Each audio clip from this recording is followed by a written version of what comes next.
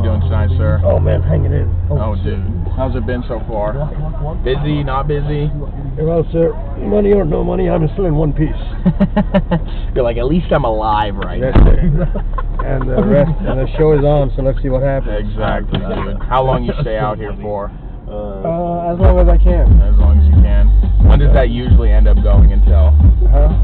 Huh? Like, what time do you usually end up? I can write a book on that, but I don't think Damn. I should do it right now. But I think uh, Oh, I just when you start to get drowsy, uh, Yeah, you're like, ah, maybe I should call it now. Yeah, call it now. Because I'm the boss, so I can always exactly. give You got your own bo- hours, boss. man.